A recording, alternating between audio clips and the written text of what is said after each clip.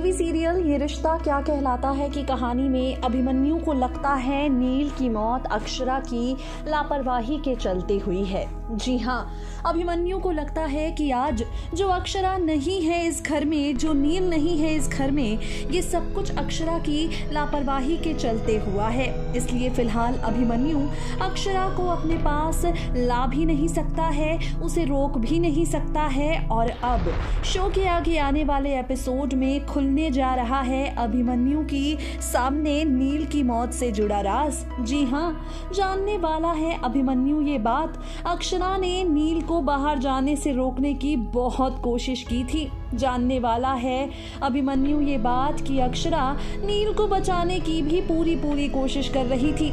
Show के आगे आने वाले एपिसोड में आप देखेंगे हाई वोल्टेज ड्रामे जहाँ पर इंस्पेक्टर साहब बिरला हाउस पहुँचेंगे।